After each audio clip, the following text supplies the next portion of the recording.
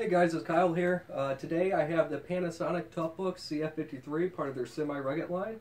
Um, so this does have the magnesium alloy casing. Um, you're looking at 2.5 to 3 foot drop rating on these. Um, now this is the bread and butter um, that I recommend a lot to police departments, especially if you're only going to keep them in the vehicle. Uh, you don't need to take them in the field. Uh, this is a fantastic option for them. Um, you know, you still have your shock uh, mounted hard drives, you still have your hard drive heater. Um, you know, you really get the options that are um, really looking for in that vertical. Um, so let's go ahead and jump into it and talk about this uh, Toughbook CF53 a little bit more. Uh, so you're looking at a 14 inch screen. This is HD. Um, you can either get it standard without a touchscreen or you can also get touchscreen models with this. This is a touchscreen model. Um, and they also do come with styluses um, in the handle uh, for touch models. Um, you have a full keyboard here. You have many options for a keyboard. You can either get an emissive backlight, you can get your standard keyboard, etc. Um, it comes standard with your um, trackpad.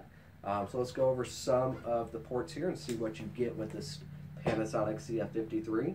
Um, so the multi-drive is standard with Panasonic CF53s. Um, so you're always going to get a multi-drive if that's important to you with Panasonic CF53s. All right, let's go to the back here. All right, so you have your serial port right here. Here's a blank space for um, an extra LAN port if you need two LANs. You have your HDMI and VGA connections. Two USB 2.0s in your LAN port.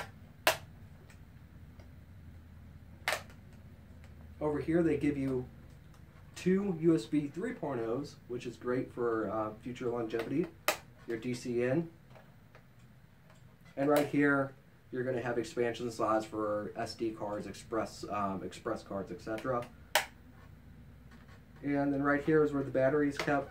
You just push that off. You can pull that battery right out. Most of the time, you can pull that battery right out.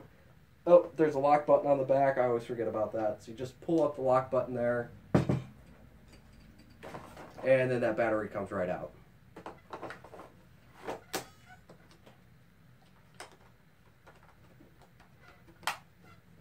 All right, and you do have a docking strip on the back. It's right here. Um, that's for full um, port replication uh, for vehicle dock. So this is a great option um, to dock in a vehicle. Um, let's go over the physical dimensions here, see what you get as far as size. All right, guys, so we're looking at about 13 and a quarter as far as width. nine and a half inches, give or take, um, for depth. If you include the handle, you're looking closer to 11 and a half inches.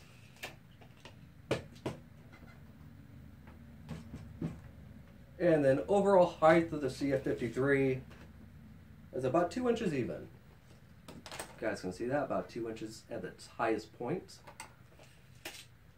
Once again, this is a great laptop for police use, um, any vehicle use. Um, I really recommend this laptop quite a bit. Um, its um, successor, the CF54, is coming out, but the CF53 is still available. Um, so if you're looking to save a little bit money and you don't need the super slim form factor of the CF54, the 53 is still a great option right now while it's available. Um, another really good thing about these Panasonic Toughbooks is they have extremely um, durable, steady hinge designs, which is um, really great for any type of laptop you're looking to use in a vehicle. Um, it really takes some pressure to start moving the screen. So this is not going to wiggle around whenever you're driving down the road.